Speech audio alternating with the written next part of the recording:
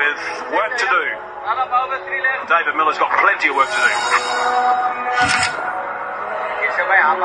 Every time you come, they play this song.